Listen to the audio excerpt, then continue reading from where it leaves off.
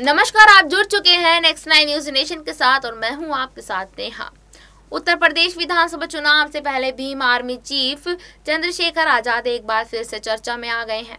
चुनावों में BSP supremo, Mayawati और चंद्रशेखर आज़ाद आमने सामने नज़र आ रहे हैं। हाल ही में भीम आर्मी छोड़कर कुछ नेताओं ने बीएसपी का हाथ थामा था और इसे मायावती ने उनकी घर वापसी बताया था। इसके साथ मायावती ने साफ़ कर दिया कि इस बार उनकी पार्टी युवाओं पर ज़्यादा ज़ोर देगी और टिकट वितरण में भी ये नज़र आएगा, जबकि इससे पहले चंद्रशेखर चुनाव प्रचार के दौरान रणनीति के तहत खुद को युवाओं के चेहरे के रूप में पेश कर रहे थे।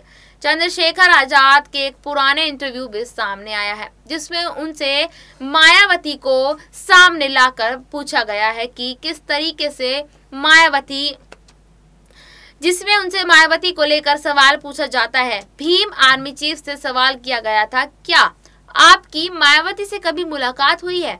तो वो आपको बीजेपी का एजेंट बताती है। राजनीति में क्या आप उनका विकल्प बनना पसंद करेंगे? इस सवाल का जवाब देते हुए चंद्रशेखर ने कहा कि मैं देश में बहुजनों को सत्ता में स्थापित करने का काम करूँगा। मैं किसी के खिलाफ बिल्कुल काम नहीं करूँगा। चंद्रशेखर आगे बताते हैं, मायावती जी मेरी बुआ जी लगती हैं और वो मुझे बीजेपी का एजेंट कहती हैं। इससे पहले वो मुझे कांग्रेस का एजेंट बताती थी। दरअसल, वो सही निर्णय ही नहीं ले पा रही हैं। कभी वो बीजेपी का एजेंट बताती है तो कभी वो कांग्रेस का एजेंट बताती है। मैं बहुजनों का एजेंट हूँ। जब तक बाबा साहेब और कांशीराम का सपना पूरा नहीं करूँगा, तब तक चुप नहीं बैठूँगा।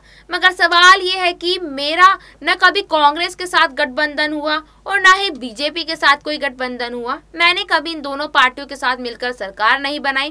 तो आरक्षण क्यों चाहिए? एक अन्य इंटरव्यू में चंद्रशेखर आज़ाद से पूछा गया, आपके पास स्कॉर्पियो है और एक बड़ा घर है तो आपको आरक्षण क्यों चाहिए? इसके जवाब में उन्होंने कहा, असली सवाल आज भी दलितों के लिए सामाजिक भागीदारी है।